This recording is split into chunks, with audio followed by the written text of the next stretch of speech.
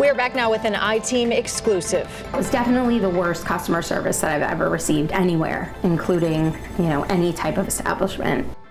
A woman who grew up in Connecticut and went to UConn says the hospital associated with her alma mater put profits before her care. She was visiting from her home in New Hampshire when she hurt her neck, but a request to be transferred to a hospital closer to home led to a big fight with UConn Health. Chief investigative reporter Eric Parker has the details.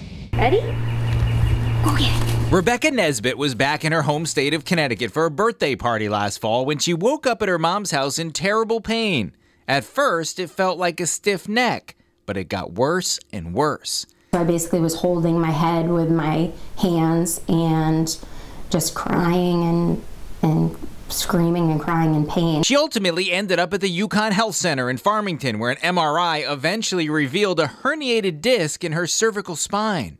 Because the herniated disc was pressing on my nerve root, um, it was causing that shooting pain down my arm and even some of the heaviest painkillers wasn't really touching the pain. They said she needed a discectomy and to have hardware inserted in her neck, but she was three hours from her New Hampshire home, which made her uneasy to have such a serious spinal surgery. Plus, Nesbitt works in the healthcare field for a company that sells sterilization equipment. And she says she asked the UConn doctors about post surgery infection rates but she says they didn't know the answers. I knew what the stakes were, and I wasn't willing to. I wasn't willing with the lack of information and how far from home I was, um, and my concerns just about about the facility and the fact that they weren't able to clarify those questions uh, made me decide that I, I needed to go to a different facility for this procedure. So she told them she wanted to be transferred to Mass General in Boston it was like the tides turned. Like I couldn't so much as get an ice pack. Like all of a sudden, service change, the service level changed, and it was. It was, well, here's your cell phone. Telling her it was UConn's policy not to assist with this type of transfer, Nesbitt was on her own. Still in incredible pain, she Googled Mass General and made a call. I just called the main line and I said, I need to speak with an orthopedic surgeon because I um, need to have surgery. He asked me, "Why are you? Why are you calling? Why isn't the hospital calling? What's going on?" The Mass General doctor agreed to do the surgery, but wanted to talk to her UConn nurse. And he sort of reluctantly took the phone, and then um, he was on for probably like two minutes and answered a couple of questions more specifically about what I had been diagnosed with and the more specific to the imaging, and then handed me the phone back. And the doctor from Mass General said they know what to do. They will, uh, there's like an internal transfer system. They'll do what they need to do on their end.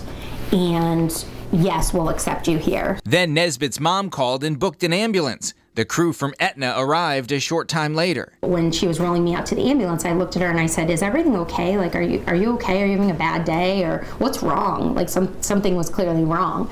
And she said, "I've never been given such." Little information on a patient before. They didn't give me any medical records. They didn't give me a folder. They didn't give me anything. Nesbitt says this paper towel was all the info UConn gave the ambulance crew. But they got her to Boston, and ultimately the surgery went well. But when she got the bill, she felt she figured out UConn's motives. The hospital stay and everything was over $100,000. Um, so I get it from a business perspective that they wanted me to stay there, but definitely it was, um, you know, putting the business part first before the medical care part of it. When she complained, UConn Health sent Nesbitt this letter saying they're sorry to hear she was upset and had shared her concerns with their senior leadership, but they stopped short of saying the staff did anything wrong. The I team reached out to UConn, and while they wouldn't answer questions about Nesbitt specifically, they sent us a statement saying, in part, quote, there is a very clear distinction between safe interfacility transfers and situations in which patients choose to be discharged against our medical advice. AMA discharges are not transfers. In AMA discharges, our medical experts determine that it is not safe for patients to leave the hospital under any circumstances. You shouldn't feel kind of bullied into staying at a facility and getting a major surgery if you don't feel comfortable.